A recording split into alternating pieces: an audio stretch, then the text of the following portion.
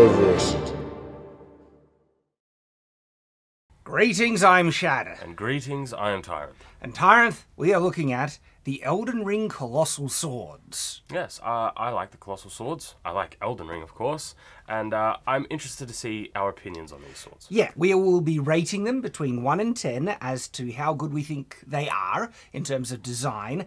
The thing is, though, when we do like broad fantasy sword analysis ratings stuff, we're usually always looking at practicality, except when it's in a self contained kind of universe. Yes. I'm thinking for Elden Ring, we might want to give uh, some kind of in universe charity to. Uh, what uh, the ability to even use them because the thing is uh, in real practicality all the Elden Ring Colossal Swords, except maybe one or two, Yeah, yeah. would be a zero out of ten because, or one out of ten. You could barely lift it. You wouldn't be able to lift them, yeah.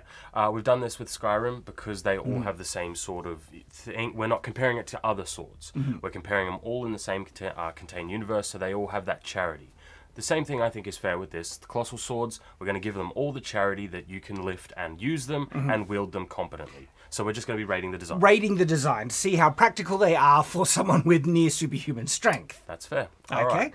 Do you want to get started? Where do you want to start? Okay, uh, I think I'm going to try and remember some of the order of where you find them um, and go through. Good luck.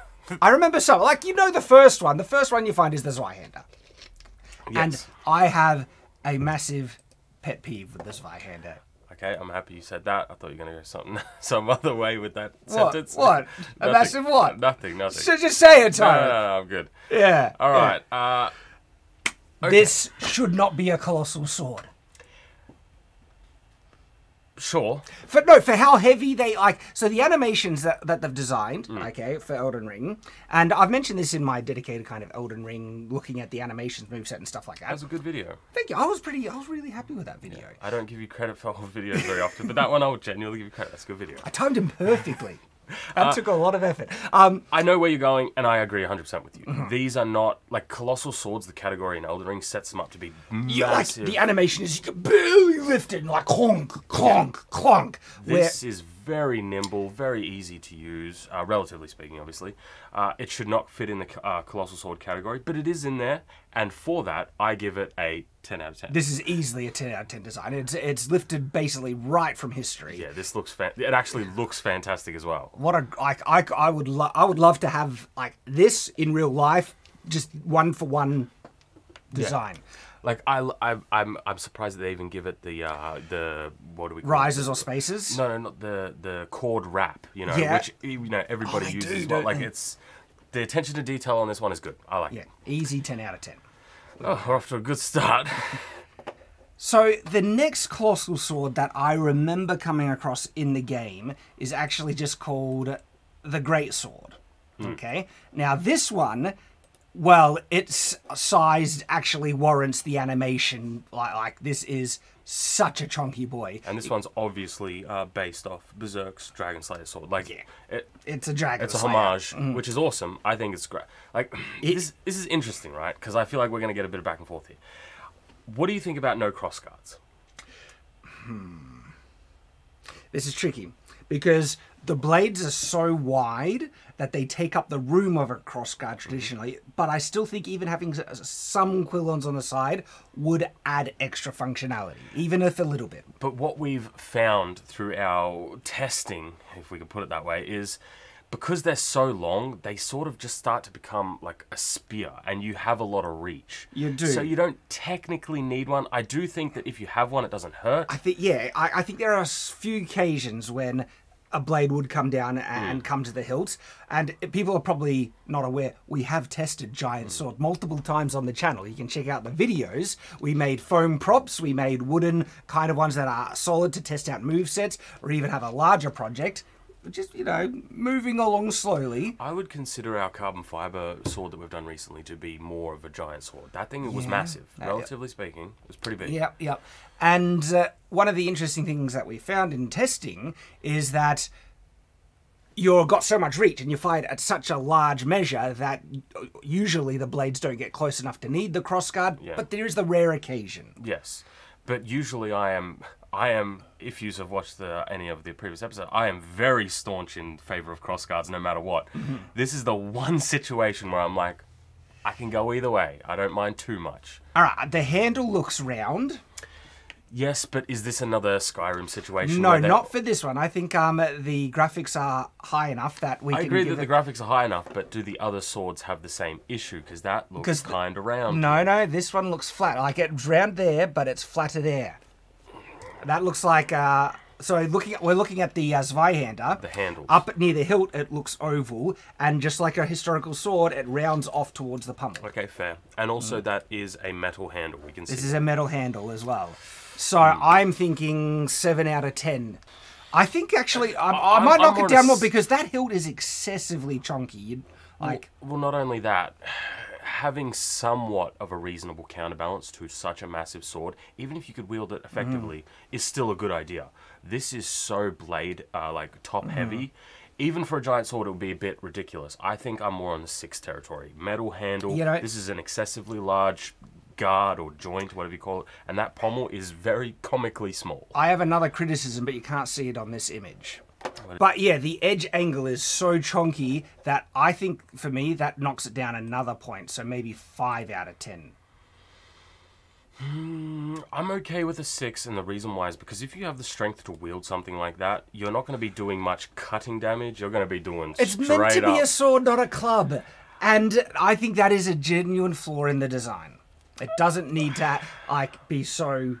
Is it though? Because like think about this within the context. If you have enough strength to swing that around, if you hit someone with that, it has a sharpened edge. Even if the bevel is like that, it's gonna smash you in half. It will cut and smash. This is true. The the size affects the design. Hmm. I I would say too thin would be actually be bad for a, such a big sword because so much weight and force you would actually break the edge easier. I reckon you would want like a chisel, but this is this is almost like ninety degrees. I, I think it's a five out of ten. Okay. All right, we can go for a five. All right, next we have the Troll's Golden Sword. Ooh, this is interesting. Hmm. I really like kind of the flared profile. It has a crossguard, but it flares all the way out to kind of like if that flare was just not done and you had little kind of quillons on the side, I think that would improve it a lot. Handle looks very round. The blade angle looks much more narrow on this one, more more reasonably in the sword category, but not so wide that you know, um, not so thin. Sorry, that it would be fragile. I think the handle's a little stubby. I also think it's You probably want a longer and handle. yeah. Uh, I do think it gets a bit too thick right at that the cross guard. Like it flares out to a Mm. Yeah. huge degree.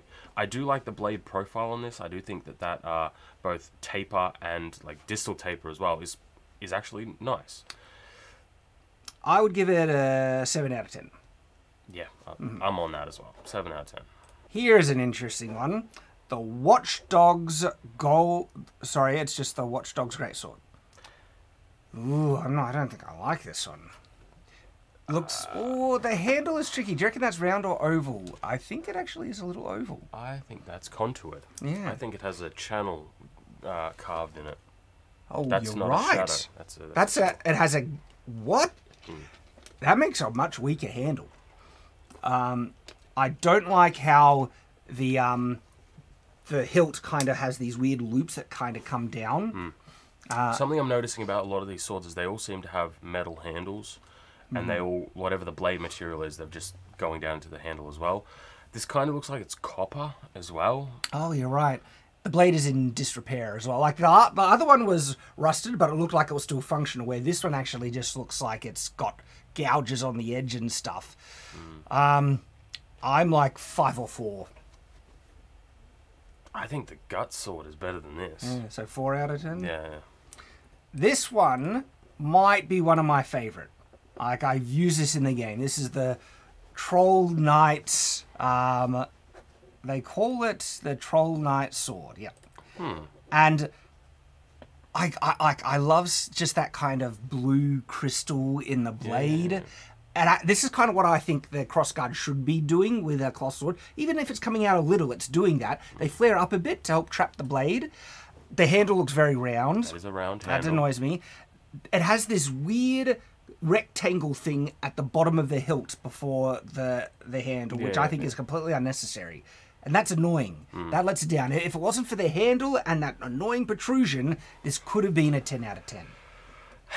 well, I also think that pommel is too small. Remember, like, I know we're talking about great, like, giant, colossal swords here. So having a counterbalance, actually counterbalance sword would be unreasonable. But all of these are so comically tiny. There's no point in having them. Uh, I do like this design a little bit more than I thought I would. However, having a stone that big in the center of the blade is a giant ass weak point. Unless it's only on the surface and goes in a little bit. Doesn't go right through the guts. we don't know. Do you think that's what's happening? I don't know. All right, because there's no way for us to know that. I'm I'm in around the six seven territory. really? I'm like, I was like eight. So let's go seven then. Well, keep in mind, this is something that's really important. A round handle on a giant sword like this would be the worst possible scenario. Having a regular sword with a round handle is kind of a problem because you're indexing. With a giant sword, the moment you hit something hard, and it starts to roll whoop. out, and uh, and a round handle would help you hold that Yeah. grip and angle your. All right, so seven out of ten. What did I say? You said six, and I was on eight, so that's the compromise. Alright, whatever. so a round handle on these ones is actually worse than It's, it would be swords. yeah quite annoying and detrimental. Oh, oh! I do not like that blade. I do not like that blade at all. I thought it looked better from a, a small image, close up. That would not be structural. That would bend and break. I hate that you're right because I do like this one. I like Hmm. the look of it. Yeah, that twist. Because if it was just a twisted blade, I wouldn't have that big Hmm. of a problem. But because it's two separate pieces of steel twisted and then joined right at the tip. So when you say if it was just a wavy blade, you meant that, yeah. Yeah. Um, but because it's twisted like this, this is big problems. we also have whatever this is, this piece of metal twisting around the Don't handle. like it. Well, that's gonna that's gonna annoy you. It get annoy you in the grip, and also it's kind of blocking the ricasso. If you wanted to grab the ricasso, you got these weird kind of you could you could grab it from one side, Mm. but not on the other, limiting versatility. Oh wow, this is like a two out of ten for me. Yeah. Yeah. Well, because from a distance, this one looked not bad. Yeah. bad. All right, all right. This one is uh, one that comes up a decent amount. It is the Royal Greatsword. All right. Okay. Oh, oh gosh. It's a little tricky. I like it has a, a very distinct bevel, but then it goes flat, which I'm okay with. Okay. I'm not really a fan of the hilt. I think the hilt is way too big. And I'm not a fan of the pummel. I think the pummel is facing the wrong direction. If you flipped it, and so those kind of um, nodes were pointing in the opposite direction, I'd be better. Has a weird rectangle thing under the hilt, which is I'm like, uh, Something that's interesting about when it comes to a giant sword, right? Proportionality is really important. And for example, because you're dealing with such a large, thick blade, having a very thin handle like that would actually be to its detriment. It would be quite terrible. I think that needs to be a bit thicker. bit thicker. Yeah. At least the pummel is bigger. It's just facing the bigger, wrong, yes. wrong direction. But is it bigger or is that handle just very thin? I think no, the pummel is actually bigger. It also has a metal ring for some reason, right, that would go A riser right where, where your, your hand, hand would would go. Uh, I also think this uh, center riser is a bit chonky in a not a good way. Four or three out of ten. What do you think? I go for a three because the other one was so bad. oh, this one's interesting. I remember finding this in the game, and I was just like, ah, ah. Uh, this is called the uh, Grafted Blade Greatsword. I don't hate it. I thought. Like, uh, all right, this is there's issues here. We have a round handle; it looks like it's metal, but we have a reasonable size I- I pommel. we have a reasonable size crossguard, and these blades would mess you up. That would mangle people. And if you could wield that like a proper sword, you would do some damage. Unironically, best pummel on the great sword, colossal sword so far. It it flares out in the right way, so you can slide your hand down a bit more. It's properly sized to have some kind of effect of a counterbalance. Uh, but everything else, uh, look, it's got a blade pointing towards your hand on the grip. Yeah, I didn't see that one. But see, this is the thing, though. But I, the blade, or the blades, that would actually be damaging exactly. quite a lot. If if you could wield this, I think this would be a super effective weapon. Because that crossguard, it's a bit chunky. I think it's a little bit too chunky, but it flares out right. All of this would probably catch blades, I- and the pommel is reasonable. I think the handle could be a bit longer, and it shouldn't be Hmm. round. But Most I could give it is a six out of ten. no, that's fair. That's fair. That's fair. The uh, this is the ruins great sword. Ah, you could barely call it a sword, but it clearly has an edge on one side. Like, If this was actually made out of stone, it would break. oh yeah, yeah. I mean, a lot of these other swords would probably. I don't know. We've seen giant swords have a handle that you know connects them, like, like um, uh, mm, is it Michael Cthulhu, the the guy who makes the giant swords? Uh, clearly, they can be connected and hold, hold together, right? Yes. But stone, the vibration that hits these things has a much higher chance of breaking. Sure. Hmm. And the edge on there, like, it has a bevel, not an edge. That's the difference there. This isn't like obsidian, which I would consider to have an actual edge. This just has a bevel. And it looks like a really thick one too. Yeah. This is. I, I don't consider this to be a sword, honestly. Yeah, like so. What one out of ten? Yeah. Like, even if you had the strength to wield these other swords, this one would be orders of magnitude heavier than even those. it's, it looks awful as well. Okay, so now we have the ancient meteoric ore greatsword. Oh. Wow, this very this gives me Soul Calibur vibes massively, like Soul Edge. If it's obsidian, it'll have a sharp edge, but it would have the problem of breaking the same. That's just steel. You reckon it's steel? Yeah, that just looks like a metal that's been like all. a darkened metal. Yeah, it's all messed up. Okay, so But they call it meteoric ore. which is which is metal. Okay, okay. Um, Which way does this one get used? I think you could cut them either, but the Well, primary edge I- seems the one that's flaring out more. If the if this is the primary edge, it's terrible. But if because look at the- this spike coming. Yeah, that you could barely hold it. But if I'm swinging it that way, that spike becomes a guard. So I'm a Hmm. little bit more charitable. So I actually think it's you're supposed to hold in the opposite direction because of the angle of the pommel. The pummel is kicking I out agree, forward, which indicates the uh, side. Like, should we give it, you know, negative points because of that? But the thing is, though, you could functionally use it you could flip it backwards. around. Yeah. Let's ba- let's base it on being charitable, and if you pick that up and mm. you're not an idiot and you'll, mm. sw- you'll swing it around the mm. right way, I don't think it's like this isn't a good sword, but as a weapon, if it was quite large, you have this big jutted out piece that could act as a guard somewhat, and this would also mess you up. Three out of ten. Yeah, hmm. Radahn sword. Okay, the Star Scourge Great Sword. And so, round handle, not good. It's metal. It is metal as well. Um, the the hilt is actually thinner than some, but then it kind of flares off on one direction, which is more stylistic. This one's also short, a lot shorter than some of the other variants here. This is actually, it's like this kind What of do you size. think of the curve? Because you could use this either way. You could use it as like a inverse curve Mm-hmm. or a uh, strong curve.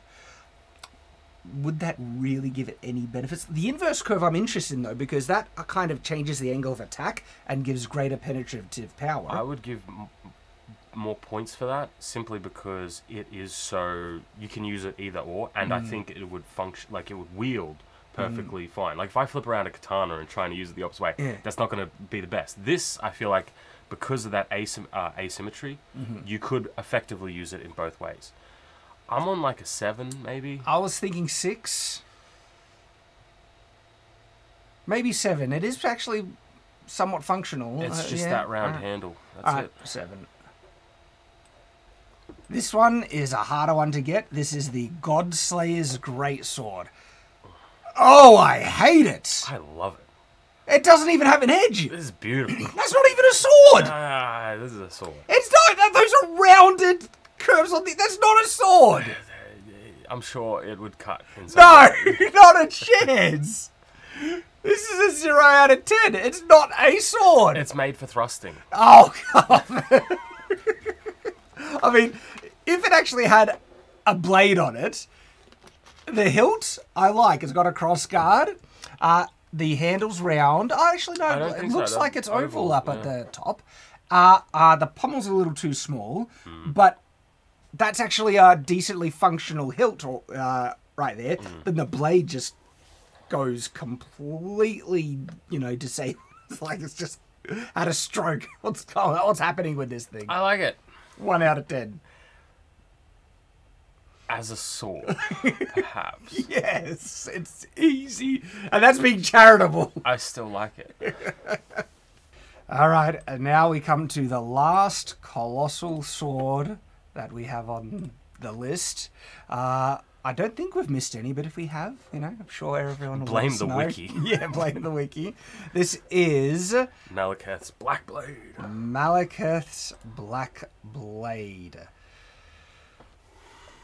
That looks like it's stone. That looks like a stone obsidian like style blade. Hmm.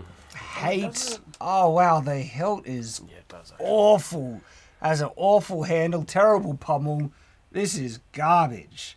But it's still more functional than the last one we looked at. Is it though? Obsidian, that just break. The I mean, you can at least cut people with it. Yeah, once. So, you cut 'em so once. two out of ten. sure, why not? Two out of ten for Maliketh's Black Blood. And that's the whole list. So, thing is, after them all, okay, uh, what is your favorite? In terms of design or functionality?